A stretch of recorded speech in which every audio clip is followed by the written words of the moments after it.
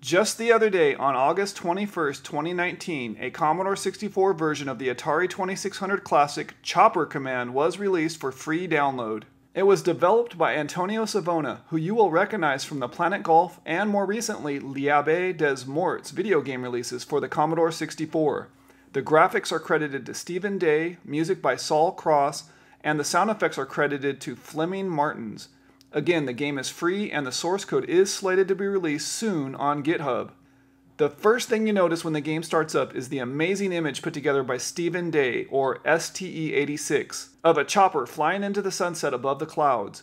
The game's name is proudly displayed along with the colorful Activision logo. With the controller plugged into port 2, pressing the button will advance you to the newly developed title screen, Again, with a larger version of the Activision logo and paying homage to Bob Whitehead, along with crediting Commodore 64 developers. The title screen displays until you press the fire button on your joystick to start a new game. Gameplay can be paused by pressing the spacebar. I asked Antonio if there were any other options such as two-player mode, and he confirmed there is not, although there was a two-player option in earlier builds.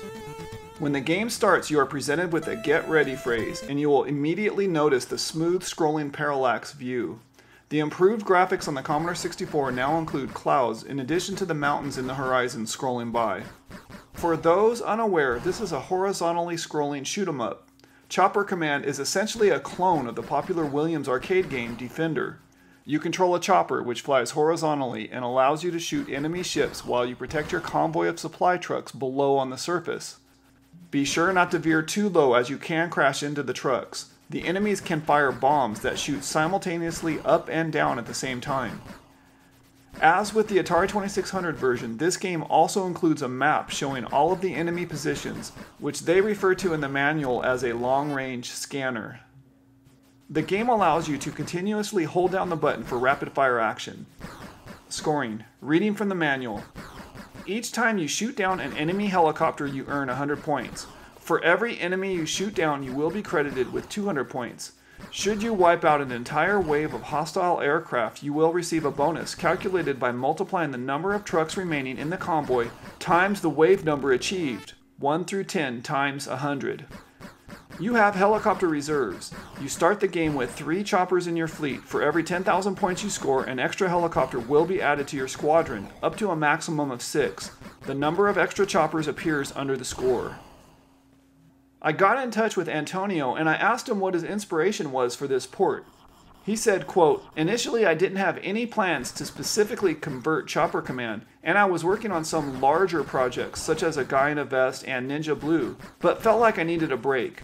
I mentioned to Steven Day I felt like doing something quick, and he suggested Chopper Command, which I had never played before. He said he would do the graphics, and I totally jumped on it because STE86 is a legend, and I would have coded anything he wanted me to. I also asked if this game was intended as a one-off or should we expect to see some more Atari ports in the future. He replied, It was meant to be a one-off, but I enjoyed coding something this simple and self-contained, so I'm already thinking of the next one, or should I say Steven is thinking. He added, We planned this as a fake unreleased conversion from 1984. I coded it in the style of Activision games of that period. Same for Steven and Saul. Anyhow, I love this game, and it really took me by surprise when I first heard they were working on it. I love the graphics, especially the intro chopper scene and the improved parallax scrolling. I appreciate how they included a title screen, giving credit to Bob Whitehead and Activision. And it's just plain fun. The link for the download will be in the video's description. The download even includes an updated copy of the manual. You can follow Antonio over on his Twitter account. Thanks for watching.